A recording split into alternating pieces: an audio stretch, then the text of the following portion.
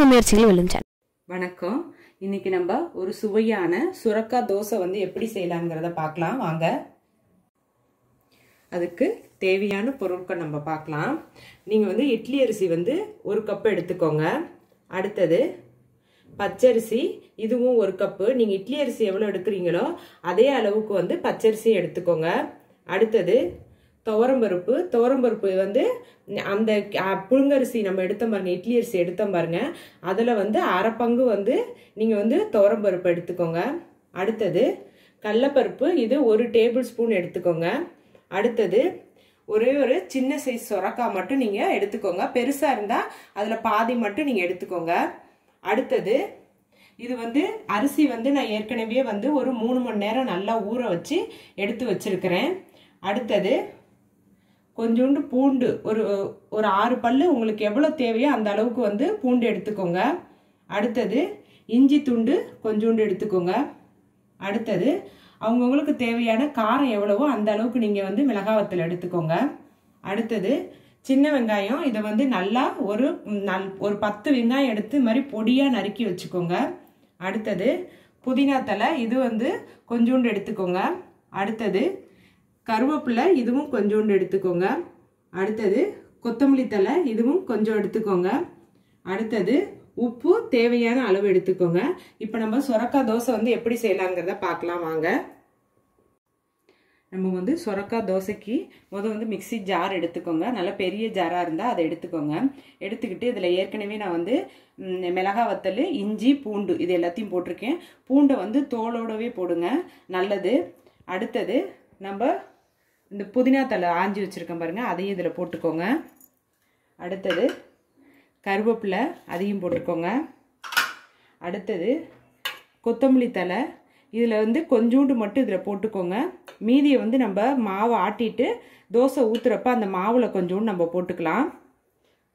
அடுத்தது தேவையான அளவு வந்து உப்பு போட்டுக்கோங்க. பத்தலைன்னா நம்ம பார்த்துட்டு கூட போட்டுக்கலாம். அடுத்தது பாருங்கள் நான் வந்து சொரக்காய் வந்து நல்லா வந்து பொடியாக நறுக்கி வச்சுருக்கிறேன். அதே மாதிரி பார்த்திங்கன்னா இந்த சைடில் தோல் இருக்கும். அந்த தோலை வந்து சீவிருங்க. சீவிட்டு அடுத்தது பார்த்திங்கன்னா இந்த நடுப்புற வந்து விதைங்க இருக்கும். நல்ல பெரிய பெரிய விதையாக இருந்தால் அதை எடுத்துருங்க. இது மாதிரி பிஞ்சு விதையாக இருந்தால் அப்படியே போட்டு நம்ம அரைச்சிக்கலாம். இப்போ இதையும் இதில் போட்டுறேன். போட்டுட்டு இதை வந்து முத வந்து ட்ரையாக நம்ம அடிச்சுக்கணும்.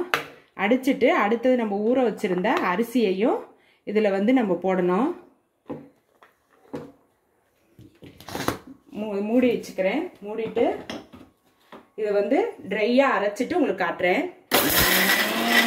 பாருங்கள் நான் இஞ்சி பூண்டு மிளகா நம்ம எல்லாம் போட்டிருந்த பாருங்கள் மிக்ஸி ஜாரில் அதை எல்லாத்தையும் நான் அரைச்சிட்டேன்.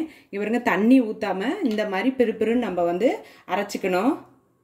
அடுத்தது பார்த்திங்கன்னா நம்ம அரிசி வந்து ஊற வச்சிருக்கேன்னு சொன்னேன் பார்த்தீங்களா ஒரு மூணு மணி நேரம் வந்து ஊற வச்சிருக்கேன்னு பார்த்தீங்களா அந்த அந்த அரிசியை வந்து இதில் போட்டுக்கலாம். கொஞ்சம் கொஞ்சமாக அரைச்சிக்கோங்க. இதில் நல்லா தண்ணியை வந்து வடிகட்டிட்டு போ இதை வந்து மிக்ஸி ஜாரில் வந்து போட்டுக்கோங்க. வேணும்னா நீங்கள் வந்து கொஞ்சம் கொஞ்சமாக தண்ணி ஊற்றி அரைச்சிக்கலாம். இப்போ இதை வந்து ஒரு மாதிரி குறை குறைன்னு நம்ம அரைச்சிக்கணும். இதை நான் அரைச்சிட்டு உங்களுக்கு நான் காட்டுறேன். பாருங்க நான் அரிசி பருப்பு சுரக்காய் எல்லாம் போட்டு மிக்ஸி ஜாரில் போட்டுருந்தேன் பாருங்க. அது நல்லா அரைச்சிட்டேன் பாருங்க. இங்க பாருங்க இப்போ நான் காட்டுறேன் அதை பதத்தை. இங்கே பாருங்க இந்த அளவுக்கு இருக்கணும். இப்போ நான் இதை கையில் எடுத்து நான் காட்டுறேன் பாருங்க. இங்கே பாருங்க இப்படி இருக்கணும். இப்படி தேய்ச்சிங்கன்னா ஒரு மாதிரி ஆற்று மணல் இருக்குது பாருங்க. அந்த அளவுக்கு வந்து இந்த இந்த குறக்குறப்பு இருக்கணும். இப்படி இருக்கிறப்ப நம்ம என்ன பண்ணிடணும் இதை எடுத்து வலிச்சுக்கணும்.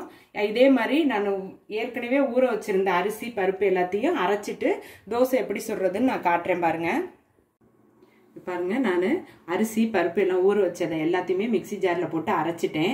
அதே மாதிரி ஏற்கனவே சுரக்காய் அரிசி எல்லாம் அரைச்சி வச்சுருந்தேன் பாருங்க. அதோட அடுத்த இதுலேயும் அரைச்சி இதில் ஊற்றி நல்லா மிக்ஸ் பண்ணியிருக்கேன். இங்கே பாருங்கள் இதோட பதத்தை நான் காட்டுறேன். இந்த அளவுக்கு நீங்கள் வந்து தண்ணி வந்து ஊற்றிக்கோங்க அப்போ தான் வந்து தோசை வந்து நல்லா மெலிசாக நல்லா வரும் நமக்கு. அடுத்தது பார்த்தீங்கன்னா நம்ம பொடியாக நறுக்கின வெங்காயம் இருக்குது பாருங்கள் அதை வந்து இதில் போட்டுக்கோங்க. அடுத்தது கொத்தமல்லி தலை எடுத்திருந்தேன் பாருங்கள் அதை வந்து நான் நல்லா பொடியாக நறுக்கி வச்சுருக்கேன். அதையும் இதில் போட்டுக்கோங்க. போட்டுக்கிட்டு இதையும் நல்லா மிக்ஸ் பண்ணிக்கோங்க. எல்லா பக்கமும் இந்த வெங்காயம் வந்து படுற மாதிரி நல்லா மிக்ஸ் பண்ணிக்கோங்க. நீங்கள் சின்ன வெங்காயம் வேணாலும் போட்டுக்கலாம். பெரிய வெங்காயம் இருந்தால் கூட நீங்கள் வந்து இதில் அரிஞ்சு இதே மாதிரி பொடியாக நறுக்கி போட்டுக்கோங்க. நல்லா மிக்ஸ் பண்ணிக்கோங்க மாவை. அடுத்தது பார்த்தீங்கன்னா இங்கே பாருங்கள் நான் ஏற்கனவே அடுப்பை பற்ற வச்சு தோசை கல்லி நான் போட்டேன். இப்போ இதை வந்து நான் ஊற்றி காட்டுறேன் பாருங்கள் நம்ம இந்த மிக்ஸ் பண்ண மாவை எடுத்து ஊற்றி நல்லா உங்களுக்கு எவ்வளோ அளவு தேவையோ அந்த அளவுக்கு வந்து நல்லா இதை வந்து தேய்ச்சிக்கோங்க. இது வந்து வெந்ததுக்கப்புறம் திருப்பி போடணும். அப்போ வந்து உங்களுக்கு நான் காட்டுறேன். பாருங்க தோசை நல்லா வெந்துருச்சு.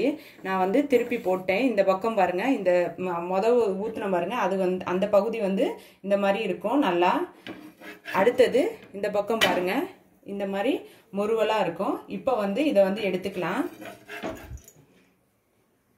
நல்லா வாசனையாக கமகமன் இருக்கும். இதே மாதிரி நான் எல்லாத்தையும் சுட்டுட்டு உங்களுக்கு காட்டுறேன். சுட்டு எடுத்துக்கிட்டேன். இப்போ இதையும் எடுத்துக்கிறேன். நமக்கு சுவையான டேஸ்டியான சுரக்கா தோசை வந்து ரெடி ஆயிடுச்சு.